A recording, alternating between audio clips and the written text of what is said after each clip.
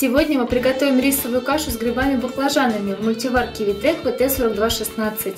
Нам потребуется полтора стакана риса, 2 луковицы, 200 грамм шампиньонов, 2 баклажана, 3 столовые ложки растительного масла, 1 чайная ложка соли и перец черный молотый по вкусу. Баклажаны необходимо очистить, разрезать вдоль, залить водой, посолить и оставить на 10 минут. Тем временем нужно нарезать лук. Шампиньоны нужно очистить и нарезать. По истечении 10 минут баклажаны нужно помыть и нарезать кубиками. Включить режим жарко на 20 минут. Налить чашу растительное масло и выложить лук. Жарить его 5 минут помешивая. Затем нужно добавить баклажаны и жарить их еще 5 минут. Затем нужно добавить в чашу грибы и жарить их до окончания режима.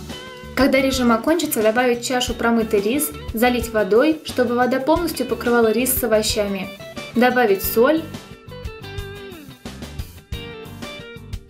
Включить режим плов на 25 минут.